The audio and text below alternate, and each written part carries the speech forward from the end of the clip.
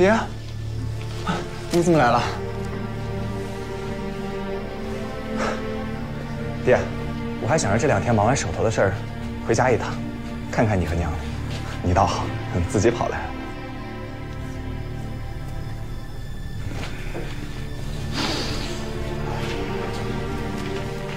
啊，对了，爹，我想跟你拿一样很重要的东西。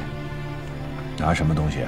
啊，这些年以来，我们沈家跟龙生河分红的账本，我要求精细到每一个月，每一笔账。你要这个东西干什么？爹，你相信我，这件事情对我们沈家来说只有利没有弊。我不能给你，为什么？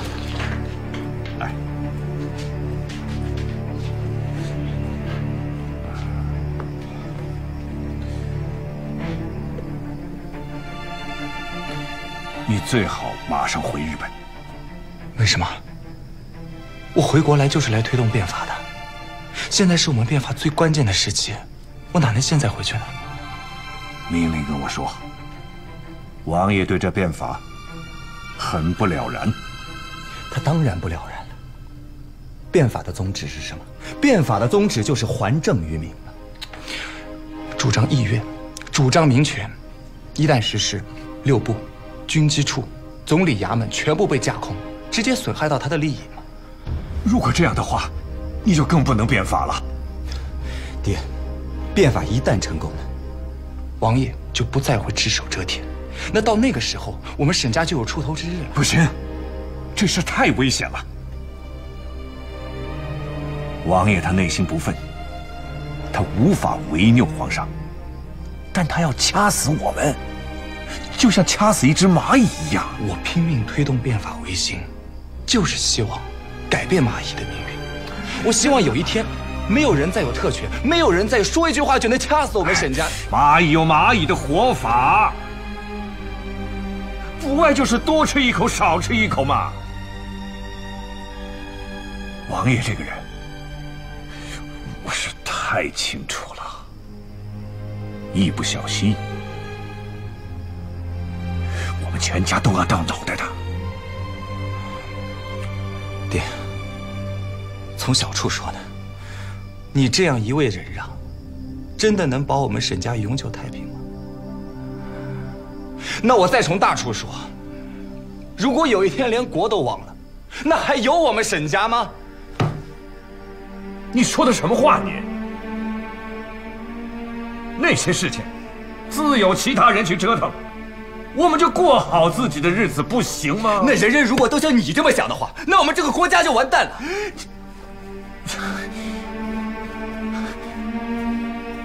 什么救国？什么变法？这些是神仙打仗的事情，我不许你掺和这事儿。爹，其余的事情我都可以答应你，唯独这件事，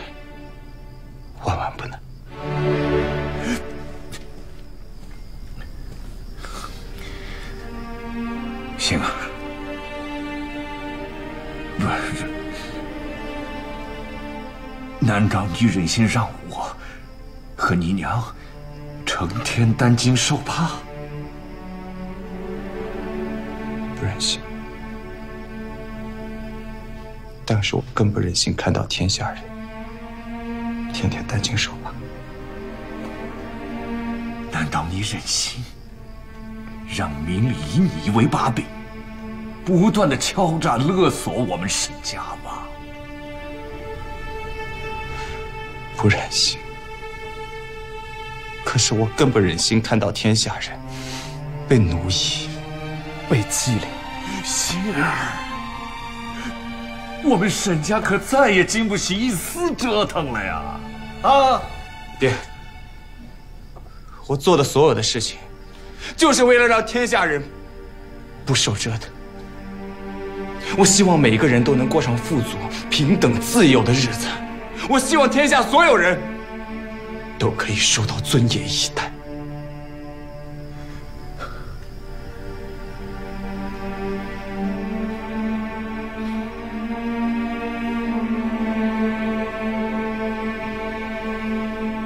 你还是不听我的。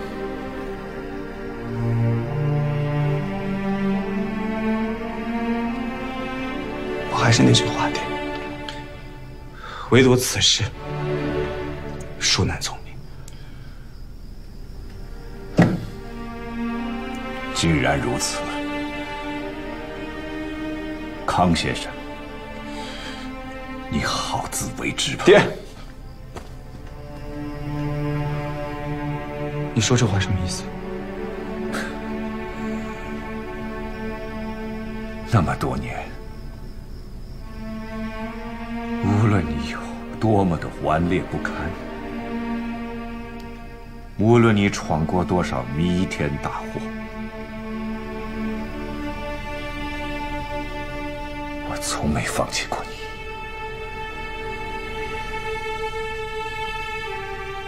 你，因为你是我的儿子。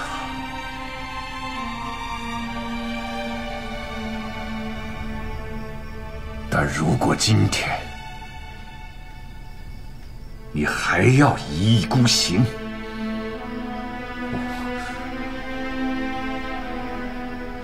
我只能和你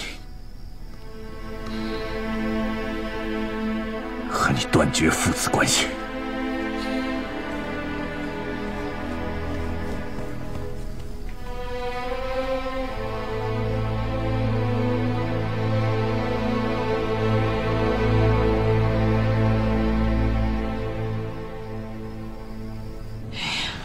叔很担心武则，所以要我过来问问。变法乃是皇上主导，武则投身其中，也算是大势所趋。至少眼下不足为虑。那我就放心了。啊，来，给。这是什么？皇上刚刚颁布的上谕。上面言辞呵斥了那些阻止民间办厂的官僚，如若再犯，定当追责。那这骂的不就是你吗？是啊，而且话里话外还骂了我背后指使之人。王爷密令让我暂避风头，暂时不要提及封厂的事儿了。那我这金阳布厂算是得了尚方宝剑，再没人敢阻拦了。你就趁着这股风，抓紧筹建吧。好。对了，前些日子我看见沈星移了。啊，我见着他了。我以为不提他了，我和他已经是上辈子的事儿。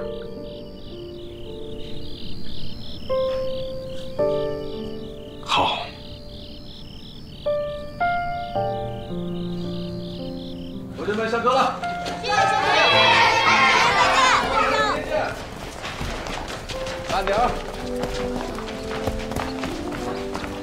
吴怀先，康先生，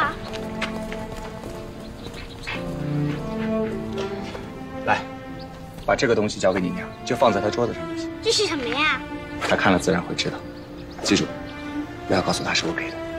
哦，康先生再见。